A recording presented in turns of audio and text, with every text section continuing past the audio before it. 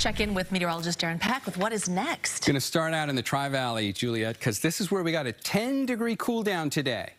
Thanks to a strong onshore flow, we're not looking at clouds here over Dublin, but you can certainly see them over the Golden Gate Bridge. And this shows you there's a strong onshore surge, low clouds for the bay, but cool air that kept going from here into those inland valleys. And we got a nice benefit of a cool down on that.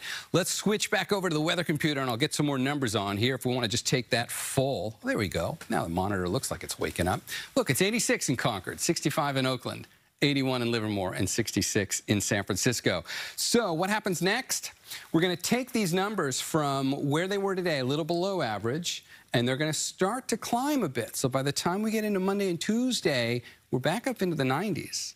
So it's going to get a little warmer if you're inland, but it's not going to get terribly hot.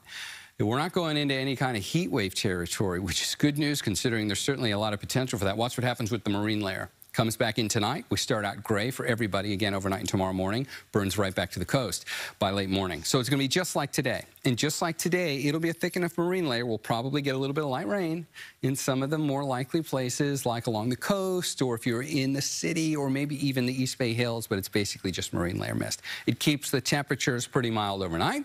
We go down into the mid and upper 50s for morning lows. Daytime highs tomorrow are going to be just pretty much a degree or two above today, maybe a little more than that in places. We'll have to go to 88 in Concord. We'll go to 85 in Livermore. Danville goes to 85. Back in the immediate bay, we're keeping these numbers right where they should be for this time of year. It'll be 80 for San Jose, 73 in Oakland, 77 for Fremont. Novato goes to 83 tomorrow. 85 Napa, 91 Santa Rosa. You'd been in the 80s today, and we're still doing those hundreds here in Clear Lake. There is still an excessive heat watch for Lake County, and over into Mendocino County, where it is still going to stay hot for the next several days. You're not getting the benefit of the onshore flow like we did in the Tri-Valley today.